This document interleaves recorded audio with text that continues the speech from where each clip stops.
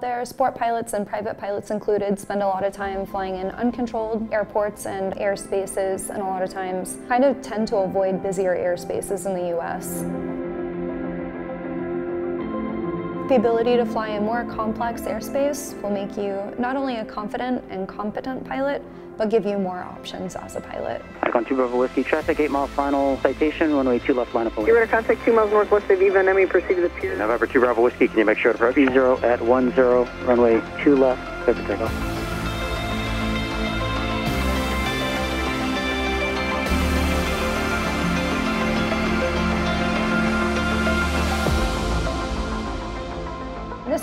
Not meant to be an all-encompassing training video. Today we're just going to cover a couple highlights so you can look at this as more of an outline, just breaking it down for sport pilots specifically, and private pilots may find this review helpful.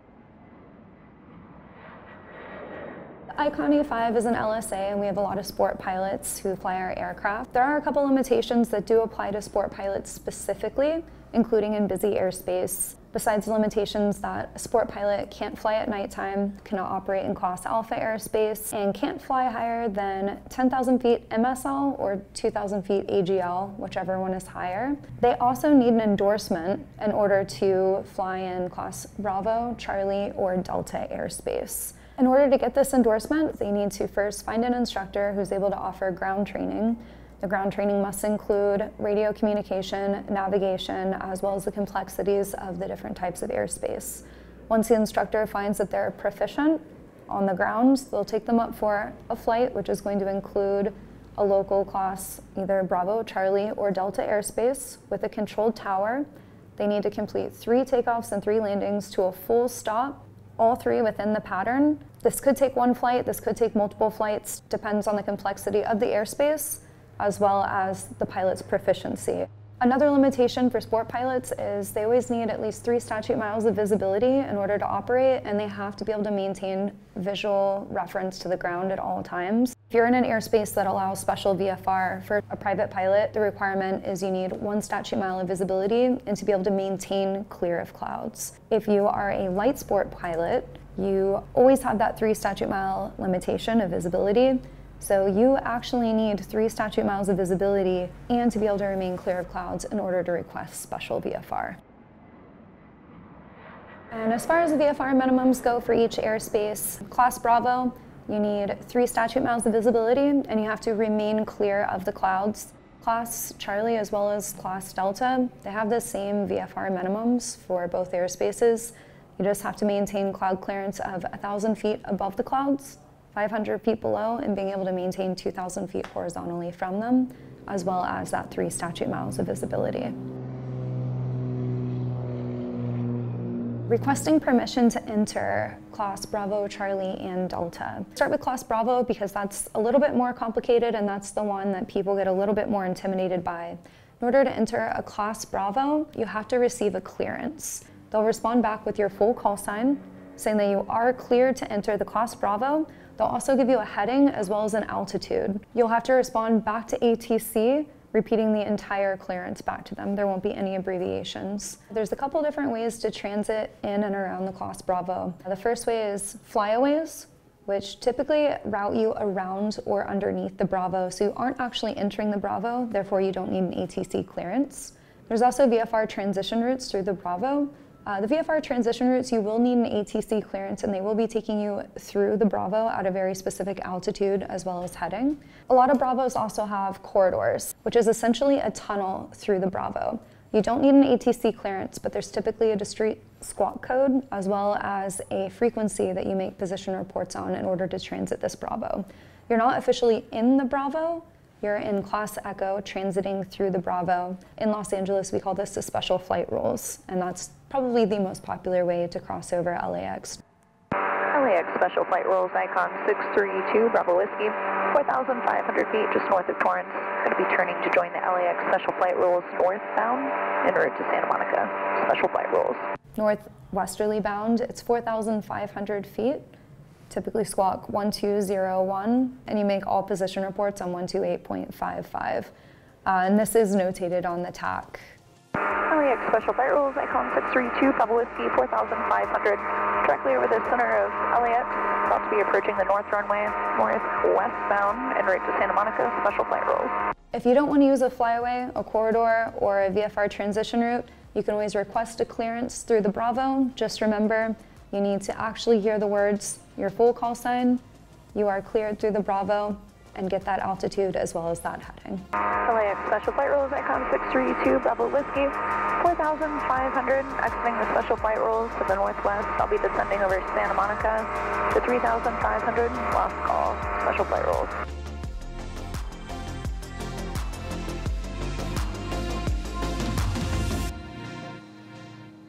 In order to enter a class Charlie, you need to establish two-way radio communication. Two-way radio communication is going to be the tower responding back with your full call sign. For example, you contact the tower, they respond back with your full call sign but tell you to stand by. You still have permission to enter that class Charlie airspace. However, they respond back just aircraft calling standby. That does not establish two-way radio communication and you need to wait maybe try again a little bit later before you enter the class Charlie. SoCal approach, good morning, icon 632, Bravo Whiskey, 3,500, about 5 miles north of the Huntington Beach Pier, inbound to John Wayne, information Yankee. 632 Bravo Whiskey, squawk 0210. 0210, 632, Bravo Whiskey. Number 2 Bravo Whiskey, radar contact 2 miles northwest of Eva Nemi, proceed to the pier. Are you a Burkoot? Uh, I'm an Icon. It's a light sport amphibious, 2 Bravo Whiskey, and proceeding direct to the pier. Sounds good, thanks. Number 2 Bravo Whiskey, contact tower 126.8, so long. 126.8, 2 Bravo Whiskey. Have a nice day. John Wayne Tower, icon 632, Bravo Whiskey, 3,500, a mile north of the pier, inbound with Yankee.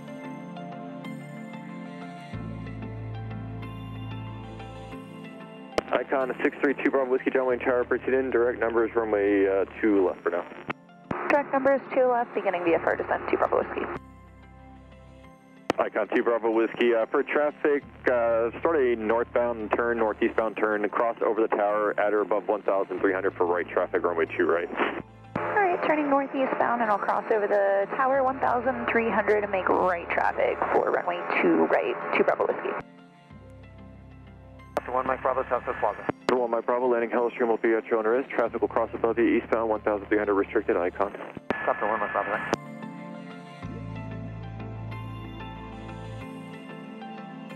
Icon 2 Bravo Whiskey, caution with turns in the arriving Gulfstream, runway 2 right, clear to land number 1, wind 05013, gust 19er. Clear to land 2 right, caution wing turbulence, 2 Bravo Whiskey. Comanche 33 Papa, you're going to follow an Right, icon, uh, turning uh, right base to final for runway 2 right. Icon 2 Bravo Whiskey, start your base please for runway 2 right. Turning base 2 right, 2 Bravo Whiskey. Wind 05011, gust 19er.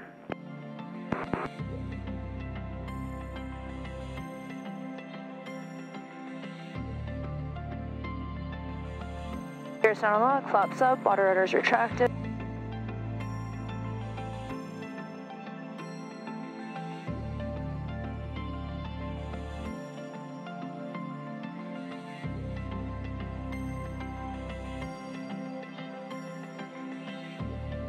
November 2 Bravo Whiskey, can you make short approach?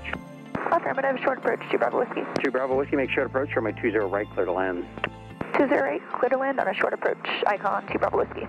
I'm just verifying, gears down and locked, flaps are up, water rudders retracted.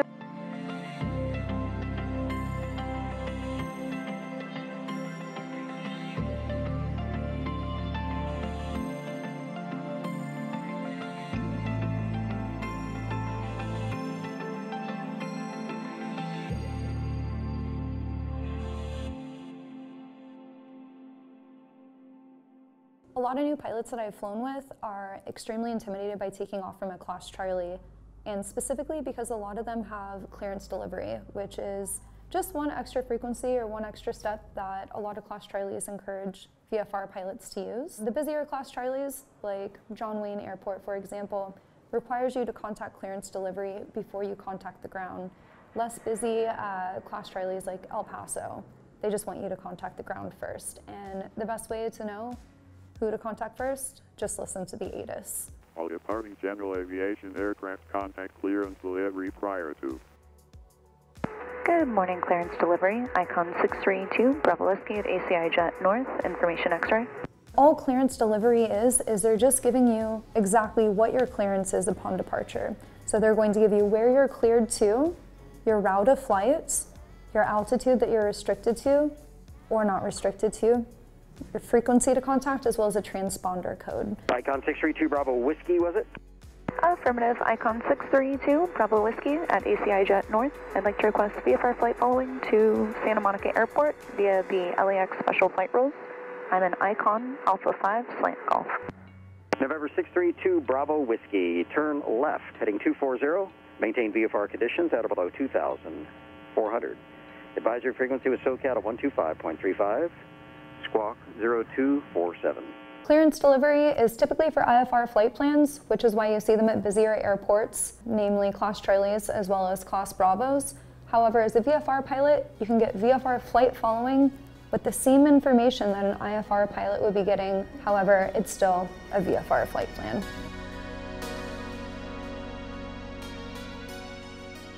For the pilots who spend a lot of time flying out of and departing from uncontrolled airports, I find that it's actually easier to depart from a Class Delta. You're still listening to the ATIS, however, now you're contacting ground, who will pass you off to tower, and tower will handle your departure. Good morning, Hawthorne Ground. Icon 632, Bravo Whiskey at the Advanced Air Hangar. Information Tango, request taxi for run up. Icon 623 Bravo Whiskey Hawthorne Ground, taxi to run up via Sierra.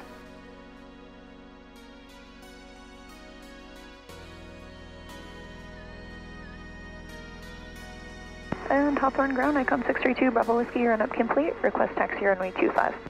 Bravo Whiskey runway 25, taxi via Sierra. Taxi via Sierra, Icon 632, Bravo Whiskey for runway 25. Hawthorne Tower, Icon 632, Bravo Whiskey, holding short runway 25 for a left crosswind departure to John Wayne. Icon 632 Bravo Whiskey Hawthorne Tower, make left crosswind departure runway 25, so pick up.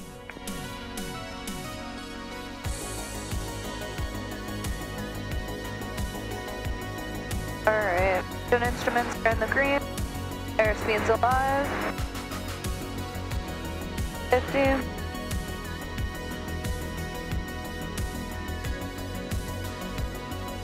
I've spent a lot of time training instrument students in the San Gabriel Valley, which is a very busy airspace when it comes to instrument approaches. Everybody from the whole basin typically uses the Pomona and the Paradise VORs in order to practice their approaches. And one day, a unique situation that I found myself in was I was flying an aircraft. The last three digits of the call sign was Niner Mike Sierra. At one point during this flight, there were four different aircraft who all had some variation of the same call sign. We were all shooting approaches, so the controllers are giving us all different vectors as well as headings to turn.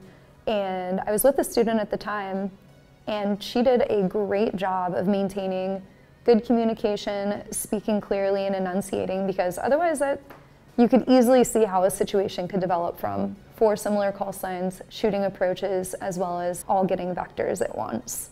So the takeaway on that, being aware of other aircraft with the same call sign and using your full call sign with every single communication, not shortening it, and just verifying that the call that you think is for you actually is for you. And if you find that you are intimidated by more complex airspace or airspace that you're not used to, it may be a sign that you do need a little bit more training in that area, and that would be a good opportunity to find a local flight instructor who is familiar with the area. I'm an ICON authorized flight instructor or IAFI, and for all the ICON pilots out there, you can always seek out an IAFI in your area in order to review all of these things and help you feel more comfortable and confident. Get up, expand your comfort zone and your horizons in a safe way.